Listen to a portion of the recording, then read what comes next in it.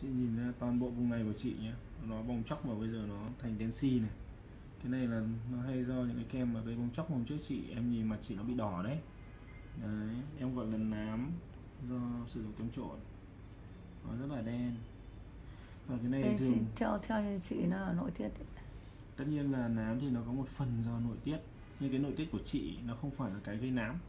Nội tiết của chị nó khiến cho da chị nó nhạy cảm với ánh nắng. Và việc tiếp xúc với ánh nắng gây rối loạn tế bào sắc tố chứ không phải là nội tiết của chị sinh ra nám ở trên da hai cái khác nhau. Ví dụ nhé cơ thể chị rất là dễ bị nhiễm lạnh thì chị dễ bị cảm lạnh nhưng không có nghĩa là chị sẽ bị cảm lạnh. Chị hiểu em không? Nếu mà chị mặc áo ấm đúng không? Chị không đi đến những nơi nó lạnh giá thì làm sao chị phải cảm lạnh được? Nên mình không đổi cho nội tiết được. Cái này xem nào. Chị tưởng có nội tiết. Nội tiết nó chỉ đóng vai trò là khiến cho chị dễ bị thôi chứ nó không phải là yếu tố quyết định cái việc là chị bị đấy, bên này thế này, đen xì trong tận đây da thì mỏng giãn mặt. Hay hôm trước em nói là không có sai. Với một cái nám như thế này thì theo quan điểm của em là, một là bây giờ chị phải dùng kem bôi nó chuẩn hai là dùng thuốc uống tốt lên. Uống tốt lên, thì mặt chị nó sẽ đỡ dần. Còn nếu mà chị không thể qua được, để điều trị bằng máy laser nhiều, thì có thể hai tuần, đến 3 tuần chị quay chạy một lần cũng được, chẳng hạn như thế.